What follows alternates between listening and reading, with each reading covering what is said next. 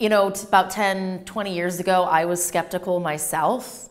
And like any good scientist, you always take in the information and then you question it and then you research it yourself and you find out what's really going on. And that's what I did. And since I did that, I have become very aware that not only is this a problem, but it's real, and I need to make sure that I'm communicating that as best as I can. Because for a lot of people in my viewing area and even across the country, I'm the only scientist that they are ever going to see or meet.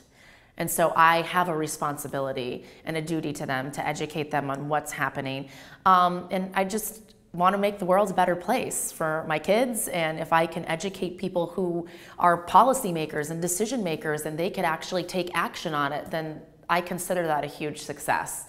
Last weekend I gave a presentation to a room at MonCon, which is a convention of monsoon and storm chasers.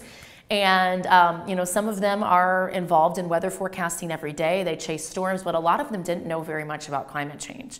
And I presented them the whole story, start to finish. Here's how the atmosphere works. Here's what greenhouse gases are. Here's what we know is happening through our own actions. And here's how it's already affecting things and how it could affect things in the future.